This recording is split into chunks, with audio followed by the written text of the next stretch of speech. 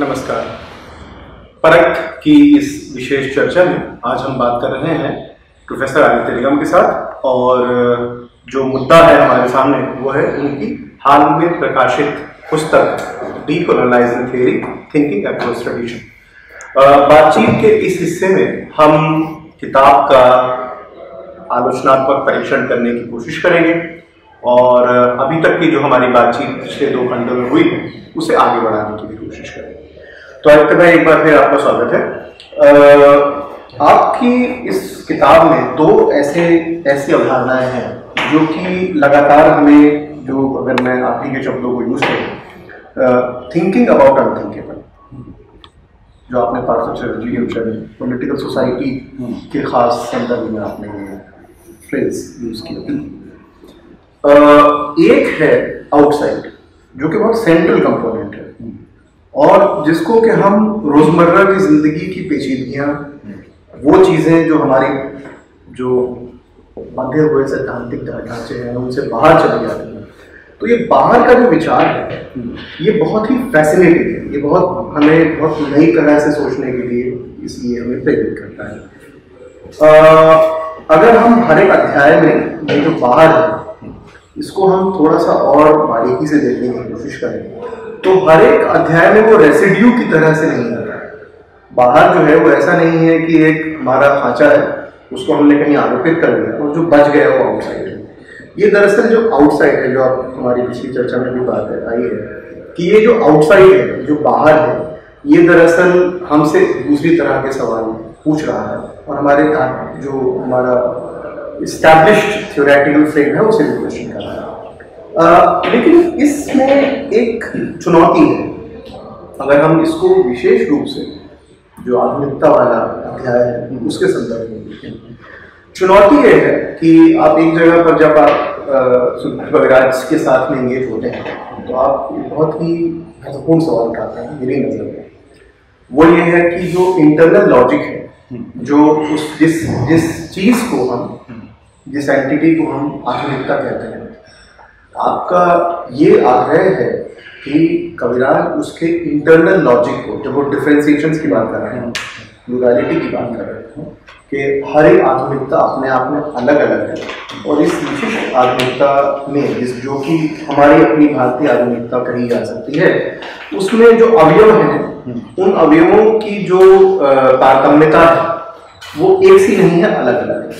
यहाँ तक आप कविराज के साथ लेकिन जैसे ही आप आगे जाते हैं तो आप उसको एक चुनौती देते हैं। इसी सवाल को कि क्या ये ज़रूरी है कि जो शब्द आधुनिकता है, और उस पर एक अच्छा डिस्कशन है नीचे जाकर, कि आधुनिकता शब्द जो है जैसे कविराज जो है बताते हैं, उनका अपना एक इस पर क्या आप एक टिप्पणी है, कि वो ये कह रहे हैं कि किस तरीके से जो साहित्य में, साहित्य और कला क्षेत्र में आधुनिकता होगी। उसका अपना एक सिद्धांत हो गवर्नेबिलिटी का अपना एक सिद्धांत हो के माध्यम से इत्यादि। या लोकतंत्र पर डॉक्यूमेंट मान किया है। तो इसके ऊपर आपका जो जो आप, जो सवाल पेश कर रहे हैं, वो ये है कि क्या ये ज़रूरी है? और ये दिपेश वाले सेंस में भी आता है, जब रंजीत गुहा और दिपेश की बहस हो रही है। क्या ये ज़रूरी है कि हम ये जो स्थापित कैटेगरीज हैं चाहे वो आधुनिकता हो या पॉलिटिकल क्या ये ज़रूरी है कि हम इनके ही माध्यम से जो बच गया उसको रेसिड्यू समझेंगे इत्यादि? तो इसीलिए आपका जो बाहर होने वाला सिद्धांत है या बाहर बाहरीपन आउटसाइड बहुत महत्वपूर्ण हो जाता है। लेकिन अगर हम इसको पलट कर देखें तो ये जो हमारी रोज़मर्रा की ज़िंदगी है इसमें कुछ ऐसा तो ज़रूर है जो कि कविराज की अपनी कहानी क्योंकि कविराज की कहानी केवल डिफ्रेंसिएशन के साथ में नहीं है। कविराज की कहानी में पूरा रोड मैप भी है। तो जो आपका सवाल है कविराज के साथ में, कि, और वो सवाल उस फुटनोट के डिस्कशन के बाद आता है। वो सवाल कुछ इस किस्म से है कि, और फिर आप हैबरमास वाली चर्चा में चले जाते हैं कि वहाँ भी एक विशिष्ट जो कंपोनेंट है, उस कंपोनेंट के ज़रिए आधुनिकता की व्याख्या की जाती है। लेकिन जो रिविजनिस्ट थियरी है उसमें आधुनिकता शब्द आपका जो सवाल है वो ये है कि शब्द आधुनिकता जो है उसकी चर्चा नहीं कर रहे हैं कभी लेकिन ये सवाल तो यहाँ फिर दोबारा से उठता है कि जो आप कह रहे हैं ये आउटसाइड है तो क्या पहले, पहली बात, पहला सवाल तो ये उठता है कि क्या वाकई में आप भी ये मानते हैं कि कुछ ऐसा है जिसको कि आधुनिक कहा जा सकता है? और अगर ये आउटसाइड है तो ये पूरा जो कन्फिग्रेशन है जिसमें कुछ आधुनिकता जैसा और कुछ बाहर। इसके लिए हम क्या कोई नाम हमें देने की ज़रूरत है? तो आपका जो सवाल है, मैं उसकी पूरी तफसील में नहीं जाऊँगा कविराज के तर्क के। लेकिन वो जो बुनियादी तौर पे बात कह रहे हैं, वो ये है कि मॉडर्निटी कोई एक परिघटना नहीं है। उसके कई अलग अलग उसके अंदर कई अलग अलग परिघटनाओं का वो एक समावेश है। और वो अलग अलग ऐतिहासिक संदर्भों में उसकी सीक्वेंसेस अलग हो सकती हैं। उनकी अलग सिलसिले में सिलसिलावार ढंग से वो सामने आती हैं। और कौन सी पहले आती है उसके बिना पे ये तय होता है कि या ये उस उस पर्टिकुलर आधुनिकता की शक्ल क्या होगी। तो यहाँ तक तो वो तर्क जो है वो बहुत ही दिलचस्प भी था और एक तरह से नए आयाम खोलने वाला था और इसलिए मैंने शुरू में तो उसको काफ़ी हद तक उसको इस्तेमाल इस इस अर्थ में किया कि मेरे खुद के सोच का एक हिस्सा बन गया था। लेकिन आहिस्ता आहिस्ता एक चीज़ और यहाँ पे वो आउटसाइड का सवाल आता है कि एक चीज़ जो है, एक सवाल लगातार दिमाग में था कि जिसे हम आधुनिकता कह रहे हैं, वो है दरअसल क्या? ये इन सारी चीज़ों को मिला के जो बन रहा है, उसको कविराज मॉडर्निटी कह रहे हैं और उसमें फिर ऑल्टरनेटिव मॉडर्निटीज हैं और वो सब है। लेकिन अगर आप देखें, और ये बात मैंने अनिबल कुहानो के हवाले से कही कि अगर आप सेक्युलर स्टेट पावर देखें रैशनलिज्म देखें रीजन या इस इस तरह की चीज़ साइंस एंड टेक्नोलॉजी का डेवलपमेंट देखें तो आप पाएँगे कि दुनिया के किसी भी समाज में, किसी भी मुकाम में ये सारी चीज़ें थी। सिर्फ़ इनसे मॉडर्निटी नहीं बनती है। अगर ये मॉडर्निटी है तो मॉडर्निटी किसी भी समाज में कभी भी हो सकती है। फिर वो, उसकी स्पेसिफिसिटी खत्म हो जाती है। तो सवाल ये था कि फिर क्या है जो आज जिसे हम लोग मॉडर्निटी के नाम से जानते हैं, वो, उसकी खास खसूसियत क्या है? और वो एक्सप्लोर करते हुए मुझे लगा कि शायद यहाँ पे कविराज जिस चीज़ को अनपैक करते हैं लेकिन अधूरा करते हैं, वो ये है कि इसकी जितनी भी कंपोनेंट्स हैं, उनके अपने अलग इतिहास हैं। तो अब मान लीजिए ट्रेड है ट्रेड एंड कॉमर्स है, जिसका बाद में इंडस्ट्री और इंडस्ट्रियलाइजेशन में उसकी बहुत सारी चीज़ों का फाइनेंस का चेक ट्रांजैक्शंस का, बहुत सारे ऐसे इंस्ट्रूमेंट्स डेवलप होते हैं। इवन मार्केट्स का, जो डेवलप्ड मार्केट्स का अकाउंटिंग का तो ये सारी चीज़ें हैं, इनकी अलग हिस्ट्री है। जो आप मेडिटेरेनियन में नाइन्थ सेंचुरी से पूरे इस्लाम के साथ बढ़ता देख सकते हैं। वो यूरोप के इंटरनल नहीं है। चाइना का इंडस्ट्रियलाइजेशन बहुत पुराना है और उसकी बहुत लंबी हिस्ट्री है। 1700 तक चीन अकेले सारे यूरोप से ज़्यादा स्टील प्रोड्यूस करता था। तो बहुत सारी चीज़ें ऐसी हैं जो दुनिया भर में और और जगह पे हो रही थी। इंडियन मैथमेटिक्स है। उस मैथमेटिक्स के बिना आप कोई कॉलोनियल रूल के कैलकुलेशंस का आप अंदाज़ा ही नहीं को हिसाब इमेजिन ही नहीं कर सकते कैसा होगा। सेक्युलर स्टेट क्राफ्ट की हिस्ट्री जो है, वो सिर्फ़ यूरोप की नहीं यूरोप में तो वो मॉडर्निटी के साथ आती है, लेकिन ये दुनिया भर में है क्या हमारे यहाँ पे मुगल मुगल कोई शरिया का रूल चल रहा था यहाँ पे। दुनिया के किसी भी हिस्से में देख लीजिए, चाइना में देख लीजिए, जापान में देख लीजिए, ये कोई थियोक्रेटिक किस्म का, जिस तरह का यूरोप में है, वैसा नहीं है। तो इसलिए जो कन्फिगरेशन बनता है जिसे हम मॉडर्निटी के नाम से जा, जान रहे हैं उसमें ये सारी चीज़ें असेंबल तो हो रही हैं दुनिया भर से लेके। उसमें यूरोप की जो स्पेसिफिक कंट्रीब्यूशन है वो क्या है? वो है डिस्कोर्स ऑफ़ राइट्स और इंडिविजुअल ऑटोनॉमी जिसके केंद्र में प्रॉपर्टी राइट है। और उस वहाँ से निकलता है फिर पूरा पूंजीवाद का इंडस्ट्रियलाइजेशन का और वो सारी चीज़ों का हिसाब। तो अगर इस लिहाज से देखें तो दुनिया के ज़्यादातर हिस्सों को आप वो modernity anti modern non modernity वाले या मॉडर्निटी उसके ट्रेडिशन के खांचे में नहीं डाल सकते लेकिन फिर भी जो बन के आता है हमारे सामने फाइनल फॉर्म में, वो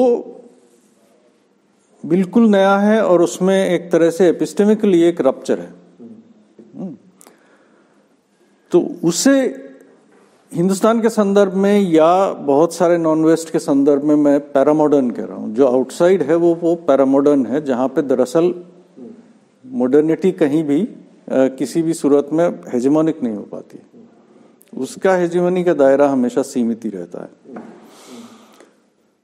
तो वो है और आ, आउटसाइड मैं ये भी कह दूँ कि आउटसाइड को मैं हमेशा विद इन कोटेशन मार्क हाँ विद इन कोटेशन मार्क रखता हूँ क्योंकि वो आउटसाइड का माने तभी है जब तक आप उसको एक स्ट्रक्चर के कॉन्टेक्स्ट में देख रहे हैं। अगर स्ट्रक्चर ही नहीं है तो फिर वो आउटसाइड क्या है? तो इसलिए वो वो है जो कभी भी पूरी तरह से कॉलोनाइज नहीं होता है। और वो रेजिड्यू नहीं है, वो बहुत बड़ा हिस्सा है। आज भी दुनिया का बहुत बड़ा हिस्सा जो है वो एशिया में, अफ्रीका में, लैटिन अमेरिका में, वो उन आबादियों का है जो उस दायरे में नहीं जीते हैं। तो अब आउटसाइड कहने के लिए पहले आपको एक स्ट्रक्चर डिफाइन करना पड़ेगा। तो इसलिए उसको कोटेशन मार्क में रख के ये कहना कहना मेरा कोशिश है कि इसको आप एक ओपन फ़ील्ड की तरह देख सकते हैं, जहाँ पे वो कोशिश रहती है लगातार। और ये भी है कि जब आप आमने सामने होते हैं तो एक दूसरे पे असर डालते हैं, उससे वो स्ट्रक्चर नहीं बन जाता है नेसेसरली तो ये है उसका, अगर मुख्तसर में कहूँ तो।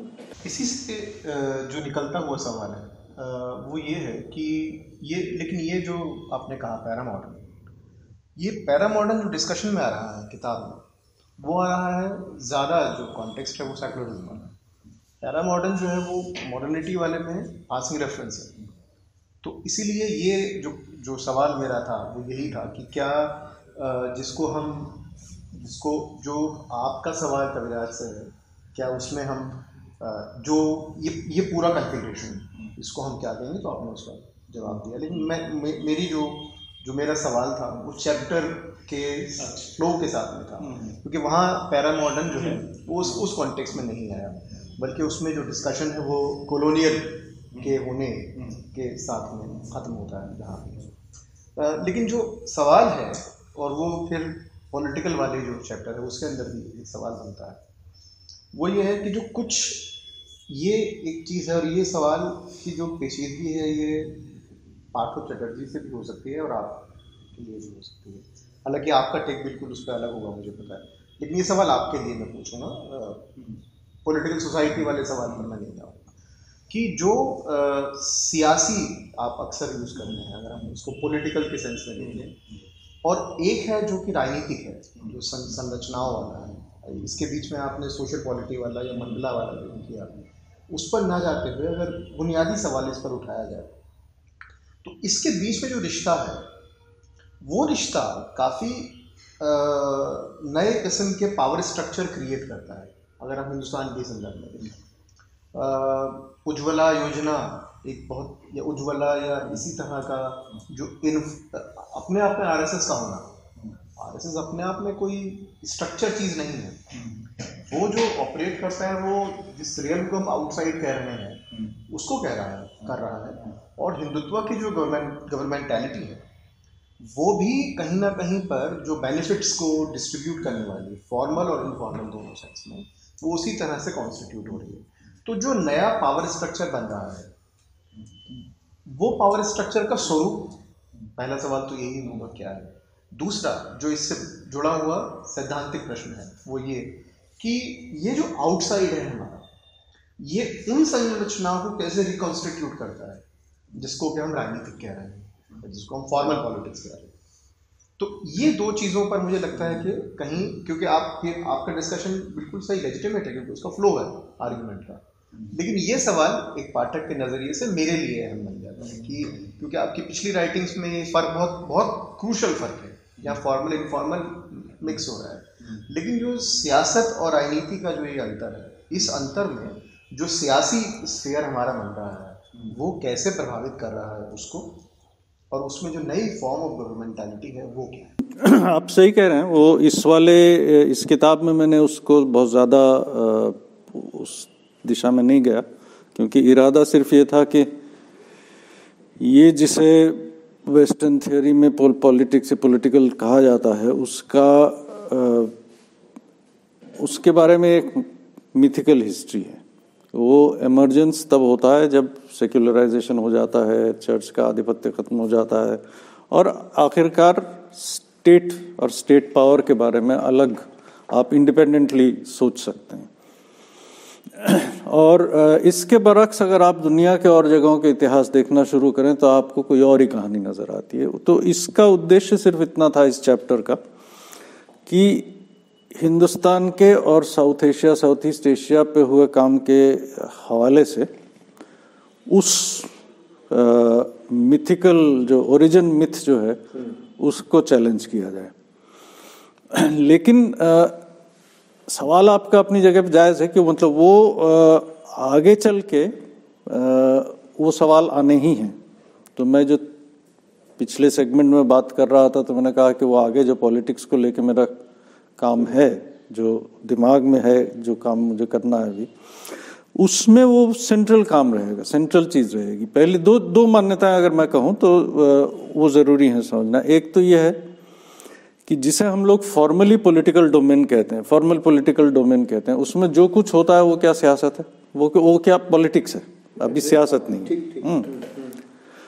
तो अब उसमें बहुत सारी चीज़ें होती हैं उसमें पॉलिसी फॉर्मुलेशन हो, फॉर्मेशन होती हैं उसमें एग्रीगेशन होता है उसमें बहुत सारा ऐसा होता है जिसका जिसका काम जो है पॉलिटिक्स को दरकिनार करके ही होता है।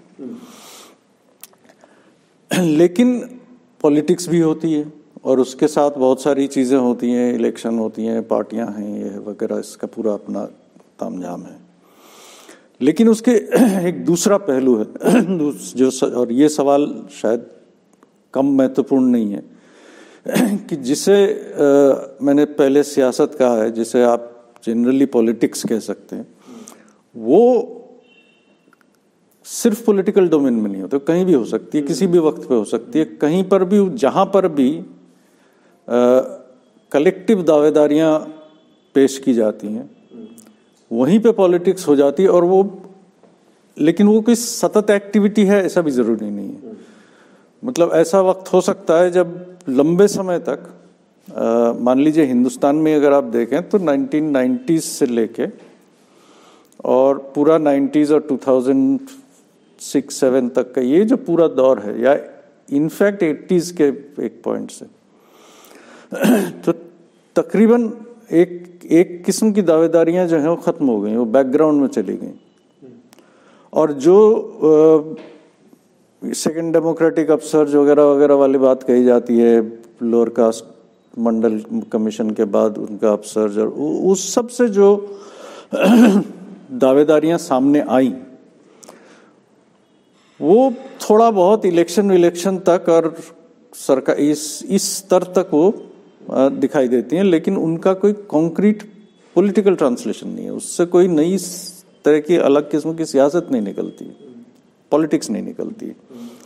तो ये जो प्रॉब्लम है, ये अल्टीमेटली उस बात से जुड़ेगी जाके, जहाँ आपने पहले खत्म किया था और जहाँ गांधी का भी सवाल था, कि पॉलिटिक्स को और पॉलिटिकल डोमेन को हम कैसे कंसेप्चुलाइज करते हैं। मतलब मुझे लगता है कि वहाँ पे, पेच वहाँ पे है। और नए सिरे से हमें उसको थ्योराइज करने की ज़रूरत है। अपने तजर्बों से और जो नॉन वेस्ट के तजर्बे हैं, उनको लेते हुए, उनकी जो अपने थ्योराइजेशंस भी हैं। तो गांधी उस सेंस में बहुत क्रूशल हैं, क्योंकि गांधी एक्टिव हैं और एक्शन में यकीन ज़रूर करते हैं, लेकिन उनके वो पीरियोडिक विड्रॉल्स भी हैं। तो वो उस फुल फ्लेजेड एक्शन वाले मोड में नहीं रहते हैं। वहाँ पे एक पैसिवनेस भी है जो चाइना वाले कॉन्टेक्स्ट में मैं कह रहा था कि वहाँ पे जो ये प्रोपेंसिटी ऑफ़ थिंग्स के साथ चलने की जो बात कही जाती है बनस्बत बाहर से एक्शन के ज़रिए परिवर्तन करने की ट्रांसफॉर्मेशन करने की। ये एक नए किस्म के अलग किस्म के थियोराइजेशन की दावत देता है हमको। तो वो इस किताब में तो नहीं है, लेकिन वो मेरे सरोकारों में है और मतलब उसको आगे ज़रूर मुझे परसू करना है। आदित्य भाई, तीसरा जो जो अहम सवाल है इस सेगमेंट में, मुझे लगता है वो आउटसाइड से ही जुड़ा हुआ है। पैरा मॉडर्न की आपने ज़िक्र किया सर्कुलर वाला जो डिस्कशन है चैप्टर है। और मैं उससे सहमत हूँ। वाकई ऐसा है कि आपके साथ बहुत सारी चीज़ें चलती हैं। और वो तो मतलब कितने स्तरों पर चलती हैं मतलब चाहे वो हमारा सर्वे डेटा से निकलने वाली फाइंडिंग्स हो या हमारे अपने इथनोग्राफिक या हमारे अपने पर्सनल एक्सपीरियंसेस उसमें बहुत सारी चीज़ें हैं इनको कि आसानी से ये जो कॉन्सेप्ट है पैरा मॉडर्न उसके ज़रिए समझा जा सकता है। तो ये बहुत पावरफुल चीज़ है एक तरीके से समझने के लिए। सवाल जो है वो आ, मतलब दो तरह से एक, उदाहरण से मैं सवाल पूछना चाहूँगा। और वो जो आपने पिछला जवाब दिया उसके कंटिन्यूएशन में वो सवाल बनता है। सवाल ये है कि आप शब्द ट्रेडिशन और परंपरा पर हमेशा ज़ोर देते चले आ रहे हैं पूरी किताब में। और आप ये भी मान रहे हैं कि इसके इसका एक उपयोग जो राष्ट्रवादिता इसेंशलिज्म उस तरह होता है। और हो भी रहा समस्या आती है तब, जबकि जो ये पूरा असेंबलेज है हमारा, इस असेंबलेज में हम उसे कैसे दरकिनार करें?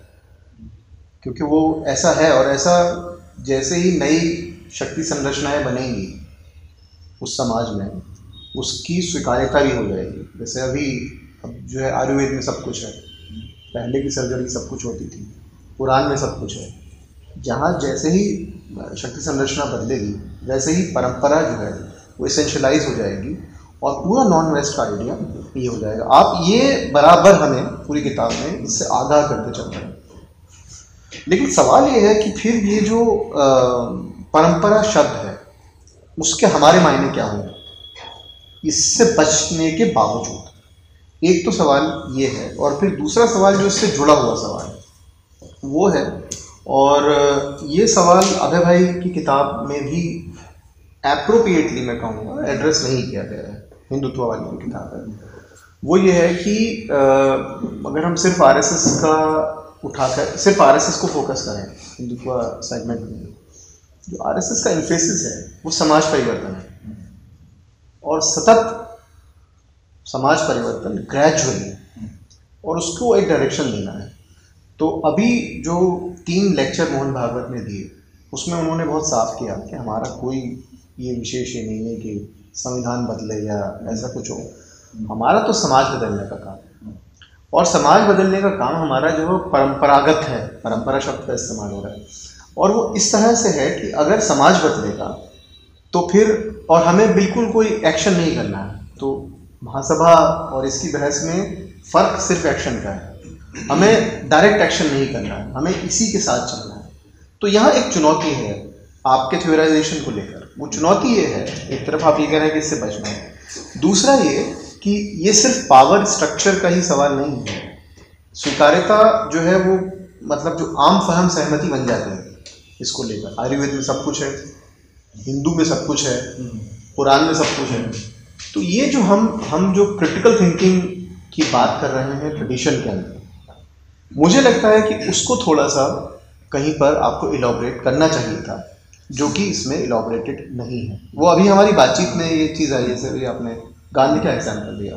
गांधी बहुत सिंपल सेंस में इसको ये कहेंगे वो एक शब्द बहुत बार बार इस्तेमाल विवेक रीज़न कि अगर ये मेरे रीज़न के साथ नहीं है तो मैं इसको ये नहीं करूँगा। तो आप क्या कहेंगे इस विषय में? दो छोटे लेवल पे मैं छोटे छोटे करके जवाब देता हूँ। इनको वैसे तो ये विषय बहुत बड़े हैं काफ़ी लंबा समय लग सकता है। पहली बात तो ये कि जो आ,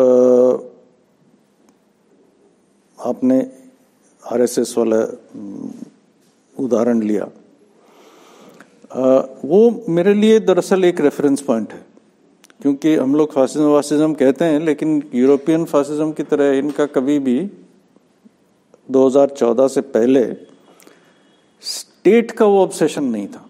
स्टेट इनके लिए हमेशा बाहरी एलिमेंट था।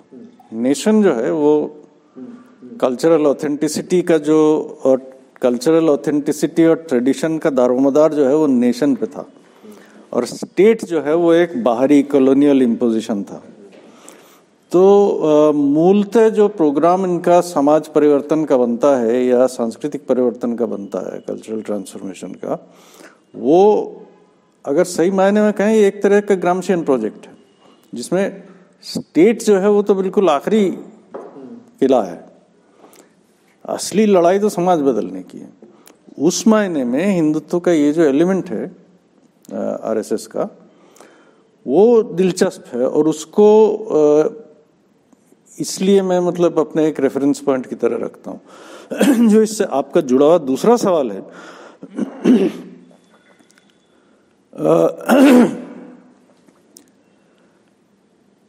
पहले तो ये कहूँ कि परंपरा ट्रेडिशन ये तमाम चीज़ें मेरे लिए ज़ाहिर है कि उस एसेंशियलिस्ट अर्थ में मैं नहीं इस्तेमाल कर रहा हूँ। परंपराएँ हमेशा लिविंग ट्रेडिशन होती हैं। और लिविंग होने का मतलब ये है कि वो वक्त के साथ बदलती हैं। तो पूरी नाइनटीन सेंचुरी में एक हिंदू रिफॉर्मर आपको नहीं मिलेगा मतलब सनातनियों को छोड़ के जो पकड़ के बैठे थे अपने उसको, लेकिन आप राम मोहन राय विद्यासागर से शुरू कीजिए और स्वामी दयानंद सरस्वती हो, चाहे विवेकानंद हो। सब जो हैं वो जाति प्रथा के खिलाफ थे। सब कास्ट और अनटचेबिलिटी को ख़त्म करना चाहते थे। और उनके अपने अपनी व्याख्याएँ थी। मसला नारे समाज का यह कहना था कि भाई ये शास्त्रों में तो नहीं है कहीं। तो वेदों में प्योर हिंदू हिंदू धर्म मिलेगा। वैदिक धर्म वैदिक धर्म जो है। और बाकी जो ये है, ये सब सोशल डिफॉर्मिटीज या डिस्टॉर्शंस हैं जो समाज के अपनी ज़िंदगी में, जीवन की लय में वो बनती चली गई हैं, इन बुराइयों से हमें नजात पानी है। तो ये भी तो एक ट्रेडिशन की ही री है ना। तो उस अर्थ में ट्रेडिशन हमेशा बदलता भी है। मैं उस अर्थ में इस्तेमाल कर रहा हूँ कि बदलने के साथ साथ वो बहुत कुछ लेकिन रखता भी है साथ में। तो ट्रेडिशन जिस मायने में बदलता है, और हम लोग जो मॉडर्न वेस्टर्न एजुकेशन हासिल करके निकले हैं, हम जिस तरह से बदले हैं, इन दोनों बदलावों में फ़र्क है। अब ज़ाहिर है कि क्रिटिकल थिंकिंग मैंने अलग से उसमें नहीं डील किया, लेकिन मेरे ख्याल से जो पूरी किताब में लगातार जो तर्क है, वो उस किस्म के ट्रेडिशन के अंडरस्टैंडिंग के खिलाफ ही है। और जिसमें मेरा ये मानना है कि उसमें ज़्यादातर जो है वो खुद एक कॉलोनाइज्ड मेंटेलिटी का आ, की तरफ़ इशारा करता है। क्योंकि जिस हिंदुइज्म की बात कर रहे हैं ये सारा हिंदुइज्म इनको नाइनटीन सेंचुरी की इंडोलॉजी के थ्रू और ओरिएंटलिस्ट रिसर्च के थ्रू ही मिला है। वो रिसर्च अब बहुत आगे बढ़ गई, लेकिन ये वहीं फंसे हुए हैं, वो अलग बात है। लेकिन कम से कम उस जमाने में जो रिकॉन्स्टिट्यूशन हुआ, वो वहाँ से हुआ। हम लोगों की दिक्कत ये है कि हम लोगों ने दरअसल जो सेक्युलर हो गए हम लोग जो। सेक्युलर मॉडर्न तो हम लोगों ने मोरलेस ये मान लिया कि वो तो वेस्ट से पहले तो सब अंधेरा ही था। उससे तो पहले कुछ था ही नहीं यहाँ पे। मतलब हम लोग ने तो अहिल्या की तरह इंतज़ार में थे कि कब रामचंद्र के पैर पड़ेंगे तो हम फिर ज़िंदगी जीना शुरू करेंगे। लेकिन हकीकत यह है कि दुनिया की सारी, हर समाज में इंक्लूडिंग हिंदुस्तान में, बहुत ज़बरदस्त डेवलपमेंट्स हुए हैं।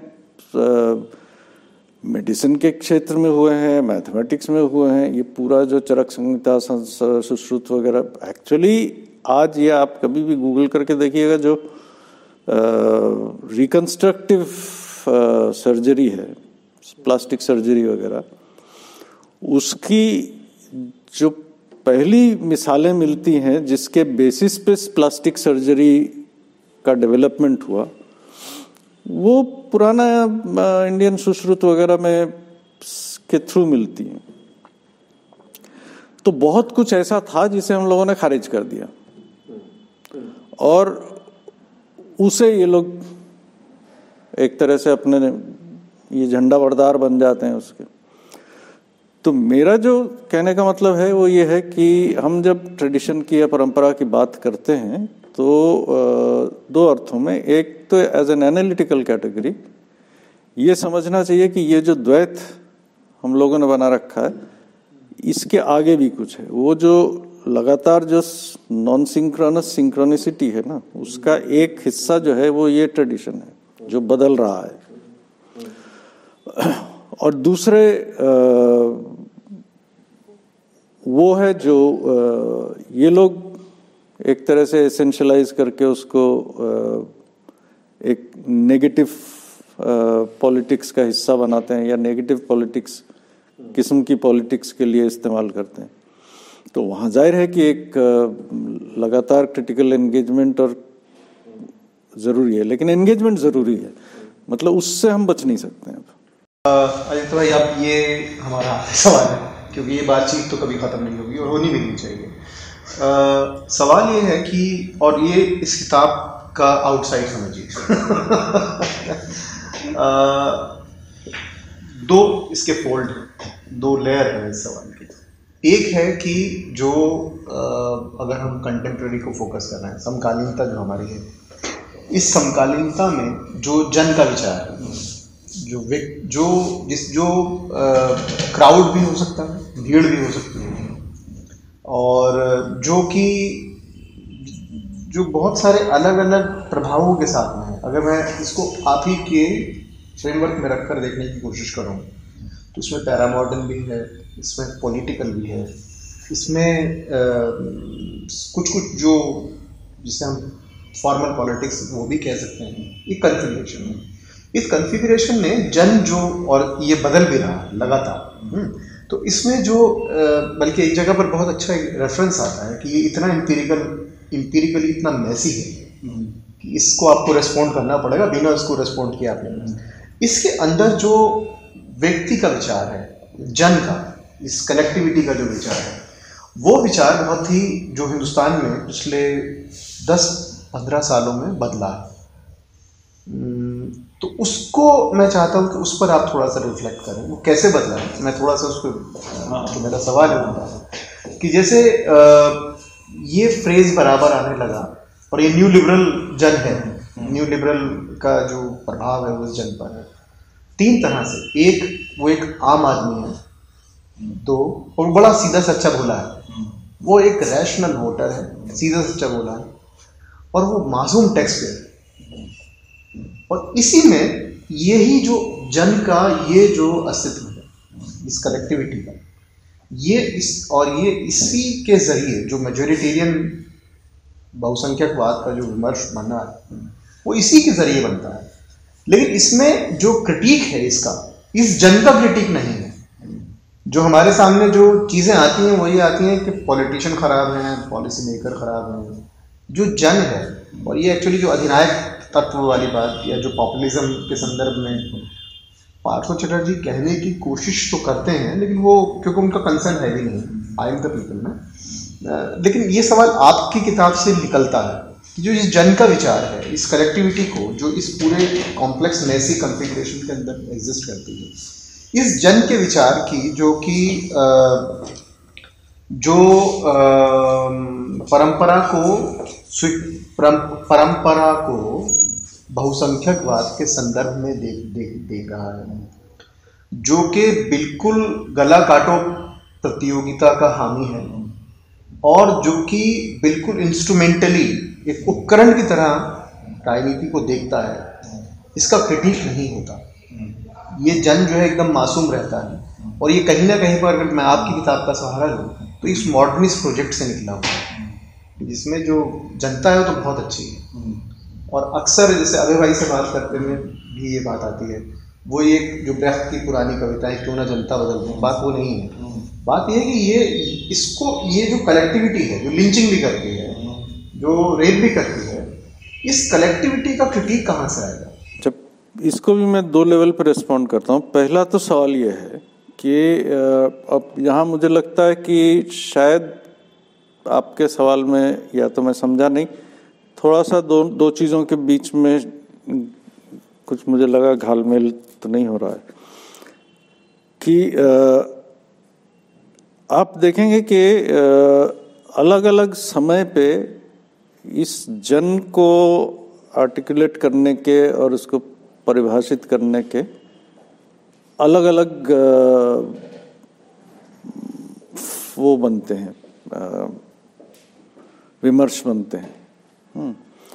और वो उसको अलग ढंग से कॉन्स्टिट्यूट करते हैं। तो वो दो हमेशा आ, मतलब उनमें लिंक हो सकता है।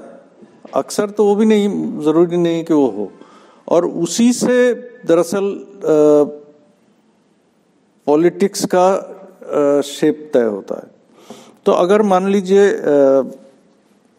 2011 से इंडिया अगेंस्ट करप्शन और उसके बाद आम आदमी पार्टी और ये सब एक फॉर्मेशन के तौर पे देखा जाए। तो ये वो लम्हा था जब दरअसल पहली बार बिना किसी उसके, बिना किसी एट्रीब्यूट मैं इसको एक अपने अलग पर्चे में इसको मैंने निर्गुण जन कहा है। हाँ। कि ये निर्गुण इस सेंस में है कि इसके कोई आपने और परिभाषाएँ नहीं दी हैं। यहाँ तक कि उसका कोई अलग झंडा भी नहीं था। वो नेशनल झंडा ही लेके चलता था। और वो उसका पूरा जो तरीका था, वो एक एब्स्ट्रैक्ट आम आदमी की बात करना था, जिसमें हिंदू, मुसलमान, दलित, ऊँची जाति, सवर्ण, वर्ण, ये सब डिस्कोर्स का हिस्सा नहीं था। उस अर्थ में ये निर्गुण था। दूसरे जन के जो फॉर्मेशंस हैं, जो मान लीजिए राम जन्मभूमि आंदोलन के दौरान दिखाई देते हैं, वो बिल्कुल सगुण है। उसमें उसका शेप और उसका फॉर्मेशन जो है वो बहुत क्लियर है। वो राम भक्त हैं या शिव भक्त हैं या क्या हैं, वो आपको उन अलग फॉर्मेशंस में दिखाई देगा, जो और अलग अलग वक्त पे हुई हैं। और लेकिन ये मेरा ये कहना है कि ये सब कंजंक्चरल है। तो आज मान लीजिए जो किसान आंदोलन अब इसमें कोई पार्टी नहीं है अभी, फ़िलहाल। हम्म? लेकिन अगर आज की तारीख में, और 2011 से पहले इंडिया अगेंस्ट करप्शन से पहले भी कोई पार्टी नहीं थी। वो तो एक आंदोलन था, आंदोलन ने खड़ा किया। एक खास किस्म की डिस्कर्सिव कन्फिग्रेशन में एक जन इमर्ज किया। और उसके बाद एक पार्टी और वो सब उसका बना। एन मुमकिन है कि इस आंदोलन से एक बिल्कुल अलग किस्म का जन का विमर्श निकले जो आपके पुराने हिंदुत्व हिंदुत्व को साइड से काटता हुआ निकल जाएगा क्योंकि इस वक्त इसकी जो फॉर्मेशन है वो आ, कुछ मायनों में बहुत रेडिकल भी है और उतनी निर्गुण भी शायद नहीं है जितनी कि इंडिया अगेंस्ट करप्शन की थी। क्योंकि यहाँ पे कम से कम किसान नाम की एक एंटिटी तो है सामने, किसान और किसानी। उसमें तो वो नहीं था, उसमें बिल्कुल क्लियर था ये। एंटी सी ए मूवमेंट अब जो तीनों में एक चीज़ कॉमन है इंडिया अगेंस्ट करप्शन से एंटी सी ए मूवमेंट और इसमें, वो है तिरंगा, कि और कोई झंडा नहीं है मतलब है छोटे मोटे इधर उधर लेकिन बेसिकली जो मूवमेंट का, की आइडेंटिटी है, वो तिरंगा है हम्म। तो उस लेवल पे उसकी कोशिश एक ऐसे जन की तरफ़ बढ़ने की है, जो जिसे ग्रामशियन भाषा में नेशनल पॉपुलर कहा जाए, हा? कि जो बिना उसको एक सगुण शेप दिए नेशनल पॉपुलर बन जाता है। हम्म। तो ये मुझे लगता है कि बिल्कुल कंजंक्चरल होता है। और उसके बिना पे राजनीति बनती है, राजनीतिक पार्टियाँ बनती हैं, वो खड़ी होती हैं, कोई और जीतने हारने का बहुत कुछ जो है, वो इस बात पे मुनसर करता है कि कहाँ तक आप एक काउंटर नैरेटिव एक काउंटर कंस्ट्रक्ट पीपल का जन का खड़ा कर पाते हैं। तो ये तो एक स्तर है। दूसरा क्या था इसमें आपका सवाल? दूसरा यही जन जो है यही जन का यही, यही विचार में बदल जाता है। हाँ तो उसमें भी मेरा कहना यही है कि वो बदलना जो है वो अब अब अगर मतलब आप पूरा 2014 के प्रोसेस को देखें मुझे लगता है कि वो अपने आप में एक ऐसी चीज़ है जिस पर बहुत ज़्यादा बारीकी से अध्ययन करने की ज़रूरत है। 2013 तक सीन कुछ और था। हुँ? 2013 के दिल्ली इलेक्शन हुए, उसके बाद दिल्ली में आम आदमी पार्टी 28 सीट जीती और वो सब पूरा हो रहा था। और सारे हिंदुस्तान भर में आपको याद हो तो स्वतःस्फूर्त ढंग से आम आदमी पार्टी की शाखाएँ बनने लगी लोग आने लगे और तमाम तरह के लोग उसमें जुड़ने लगे। मतलब आ, सोशल मूवमेंट से लिंक लोग भी थे उसमें बिल्कुल किसी से लिंक नहीं है ऐसे लोग भी थे उसमें जो ऐसे लोग भी थे जो अपने आप को न्यू लिबरल क्लासेस का ग्रुप कंज्यूमिंग क्लासेस का हिस्सा समझते और वो उस तरह का इंटाइटलमेंट समझते थे वो भी इसमें शामिल थे। तो वो था। लेकिन फिर आप अचानक देखते हैं कि एक पॉइंट पे और यहाँ मतलब इस, इसकी जो स्वतःस्फूर्तता को काउंटर करने वाली एक कुछ और टेंडेंसीज भी काम कर रही थी। जैसे ही आ, गैस प्राइसेस का मुद्दा सामने उठाया जाता है वो केजरीवाल ने कई बार उठाया इधर उधर करके उन्होंने कि कैसे और फिर वो रुक गया उस वक्त। लेकिन उसके निशाने पे अंबानी थे। और जैसे ही वो हुआ, उसके फ़ौरन बाद मीडिया का रुख बदला, जो मीडिया कल तक उस आंदोलन के पक्ष में खड़ा हुआ था, वो एकदम, उसके बाद वो हॉस्टाइल एक रुख अख्तियार करता है। और उसी वक्त वो उनकी एक नए अधिनायक की तलाश शुरू होती है, जो एक्चुअली ऑलरेडी 2009 से चालू थी। मतलब मोदी की तरफ़ से वो तब से चालू थी, लेकिन वो क्लिंच नहीं हो पा रही थी। 2013 में अडवाणी भी कंपटीशन में थे। क्लिंच इस बात पे हुई जाके कि जो पैसा जुगाड़ कर पाएगा, वो दोनों में से वो हो जाएगा। तो कॉरपोरेट बैकिंग बहुत ज़रूरी थी। तो ये पूरा जो खेल जिस तरह से बना और ये जो सारे कन्फिगरेशंस बने आरएसएस की चॉइस नहीं था नरेंद्र मोदी उस वक्त। हम्म। तो ये जो कन्फिगरेशन बना और ये किस तरह से यहाँ मीडिया बहुत सेंट्रल रोल है। तो जो सारी बात है ना पॉपुलर विल बनती कैसे है? पॉपुलर विल जहाँ आप और कुछ बात ही नहीं आने देंगे सामने। जहाँ और ये तो मतलब बिल्कुल क्लियर है पिछले छह सात साल में कि दो फ्लोज कंट्रोल करनी है आपको पैसे की और इंफॉर्मेशन की। ये दो आपने कंट्रोल कर ली तो आप सारा पॉपुलर विल जो है वो धरा का धरा रह जाता है। आप कुछ भी पॉपुलर विल बना लीजिए जैसा चाहें वैसा बना लीजिए। तो इसलिए मैं इसको आ, उस तरह से एक स्पॉन्टेनियस डेवलपमेंट की तरह नहीं देखता हूँ कि कब वो मेजोरिटेरियनिज्म की तरफ़ चला जाता है। ये जो मेजोरिटेरियनिज्म की तरफ़ जाना था, उसके पीछे बहुत सारे बहुत कॉन्क्रीट कॉन्स्पिरसी शब्द तो बहुत खराब लगता है सुनने में, लेकिन स्ट्रेटजीज हैं। बहुत कॉन्क्रीट स्ट्रेटजीज हैं जिसमें कई किस्म की फोर्सेस का इंटरेस्ट जो है एक साथ जुड़ जाता है। शुरुआत इसकी हुई अगर आप थोड़ा सा दो मिनट के लिए पीछे जाएँ तो शुरुआत इसकी होती है इमीडिएटली सिंगूर नंदीग्राम के बाद। जैसे ही टाटा वहाँ से निकले, सिंगूर से, वैसे ही मोदी ने उनको ऑफ़र किया कि हमारे यहाँ ज़मीन देते हैं, आपको और हमारे यहाँ दो मिनट नहीं लगेगा। सो ही पूरा कॉरपोरेट सेक्टर जो है, जो उसे लगा कि ये है। नेता हो तो ऐसा हो।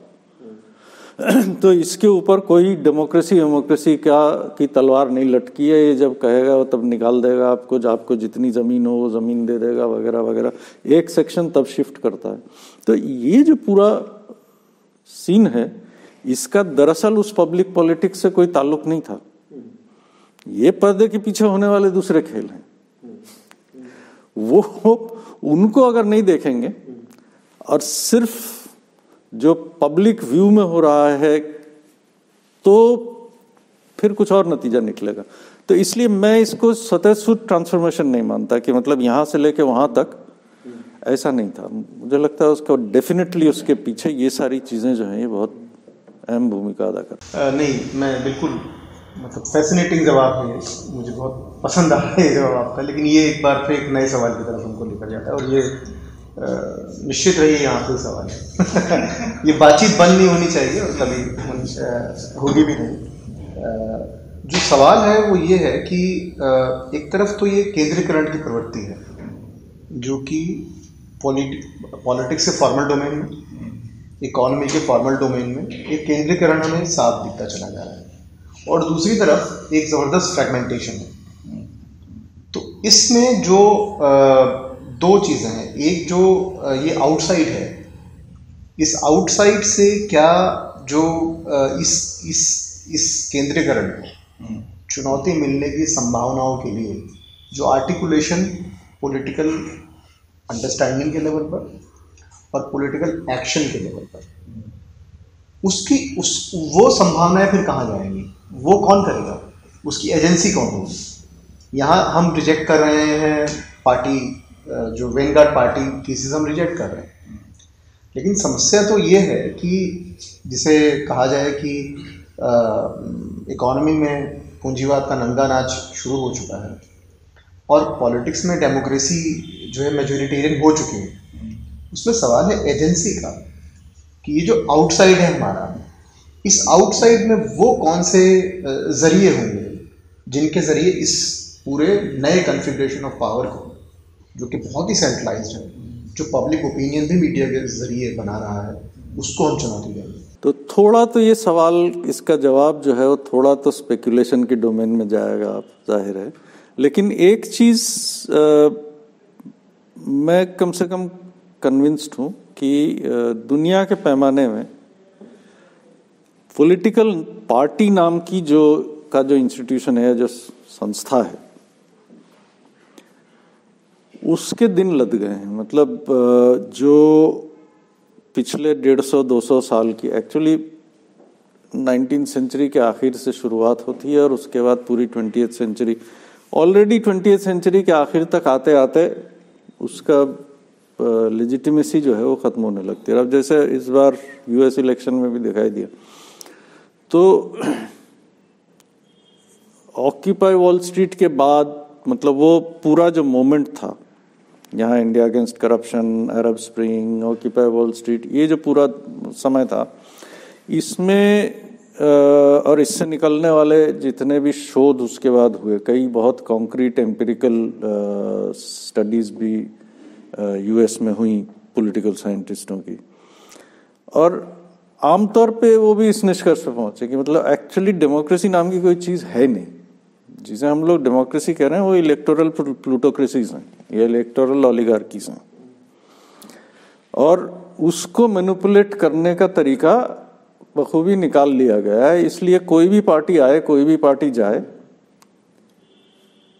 उसका तबातुर बना रहता है सिस्टम का तबातुर जो है वो बना रहता है। उसको कहीं किसी तरह से भी आप डामाडोल नहीं कर सकते तो उसकी वजह से अब ये स्थिति हो गई है कि ये ये जो सारे आंदोलन थे और इंक्लूडिंग जो हमारा एंटी सी मूवमेंट या ये फार्मर्स एजिटेशन इन सब में आप देखेंगे कि पॉलिटिकल पार्टियों पे बिल्कुल बैन है। हाँ। आप आइए बैठे समर्थन देना चाहते हैं समर्थन दीजिए लेकिन मंच पे खड़े होकर आपको कोई भाषण वाषण देने का वो नहीं है। ये बिल्कुल क्लियर है। इसमें भी क्लियर है और बाकी सब में भी बिल्कुल क्लियर था। तो एक महीने में ये निकल कहाँ से रहा है? निकल रहा है जो पिछले सौ साल का तजुर्बा है कि हर बार आंदोलन खड़ा होता है, हर बार आप कुछ लड़ते हैं, लड़ते आप हैं, सत्ता कोई और ले जाता है और ले जाके फिर वो वही करता है जो सारी चीज़ें पहले होती आई हैं। तो मुझे जो लगता है कि एक्चुअली अभी इंटरिम फॉर्म्स की तलाश है। सब जगह पे ऐसे फॉर्म्स की तलाश है जहाँ कुछ ना कुछ फॉर्म तो यही है। कोई ना कोई ऑर्गेनाइजेशनल शक्ल तो उसको देनी होगी। कुछ ना कुछ ज़रिए से वो चलेगा। कहीं पे वो छोटे छोटे डायरेक्ट डेमोक्रेसीज के फॉर्म में है, कहीं पे वो पॉपुलर बजटिंग की शक्ल लेता है, कहीं पे वो छोटे लेवल के रेफरेंडम्स करवा, करवाने का फॉर्म लेता है। यहाँ पे इन्होंने मोहल्ला सभा वगैरह की बात चलाई थी आम आदमी पार्टी ने। उसके बाद तो खैर जो वो तो सिचुएशन ही कुछ ऐसी है इस वक्त। देखिए कब तक वो चलता है नहीं। लेकिन जो आ, उसका एग्रीगेट लेवल पे होना है वहाँ मुझे लगता है कि पुरानी जो तथाकथित आइडियोलॉजिकल पार्टीज़ थी वनगार्ड पार्टीज़ उसकी जगह नए किस्म के कोलिशनल प्लेटफॉर्म्स जो हैं उनकी मुझे गुंजाइश ज़्यादा दिखाई देती है। अब ये देखिए आप कि कितने डाइवर्स किस्म की पोलिटिकली ग्रुपिंग्स हैं। लेकिन आंदोलन में मोरलेस वो एक जगह पे सहमतियाँ कुछ बन गई हैं, कैसे आंदोलन कंडक्ट करने के कुछ ग्राउंड रूल्स बन गए हैं। और नेगोशिएशन कैसे होने उसमें क्या होना है, उसकी ग्राउंड रूल्स बन गई हैं। तो ये भी एक नीचे से उभरने वाला प्रोसेस है। टाइम लगता है ज़ाहिर है। पहले दस लोग बैठ के एक पार्टी बना के घोषणा कर देते थे उसके बाद मीडिया वीडिया में थोड़ा खेल होता था। अब उसमें जो पुराने ताकतवर तबके थे उन्हीं के लोग पुराने राजे रजवाड़े ये वो वही सब जाके नेता बन जाते थे। वहाँ अब जो है ये बिल्कुल दूसरा ज़मीन से उठने वाला वो है फॉर्म टाइम लगता है टाइम लग रहा है शायद इससे। लेकिन मैं आ, समझता हूँ कि लॉन्ग रन में ये सब एक नए फॉर्म की तलाश है। मतलब आंदोलनों का इस नतीजे पे पहुँचना कि ये फॉर्म नहीं चलेगा और इसको दूरी रखना है, ये अपने आप में एक उसका पहला कदम है। तो अभी तक जो, अब जैसे एक बहुत ब्रीफली वो अगर इशारा करूँ तो वर्कर्स पार्टी ऑफ़ ब्राज़ील जो थी पीटी वो ऊपर से बनी हुई पार्टी नहीं थी। वो नीचे साउपोलो के इर्द गिर्द जो ऑटोमोबाइल फैक्ट्रीज में से वो होने वाले ट्रेड यूनियंस थे, वहाँ से निकले हुए उसी से पार्टी बन गई। तो ऐसा कुछ मुझे लगता है something like that to emerge तो बहुत बहुत शुक्रिया आदित्य भाई आज की चर्चा में भाग लेने के लिए, और इस किताब के ज़रिए, इस किताब के बहाने हमने बहुत सारे और भी मुद्दों को छुआ, जो कि शायद हमारे सवालों में भी नहीं थे और वो बातचीत में आते गए। तो परख में आज इतना ही। आपसे फिर मुलाकात होगी। सिर्फ़ एक गुजारिश ये है कि हमारी इस चर्चा पर आप अपनी टिप्पणी दीजिए और अपने कमेंट्स हमको भेजिए। तो ये चर्चा रुकेगी नहीं, क्योंकि ये बातचीत और विमर्श का एक ज़रिया है। बहुत बहुत शुक्रिया। नमस्कार।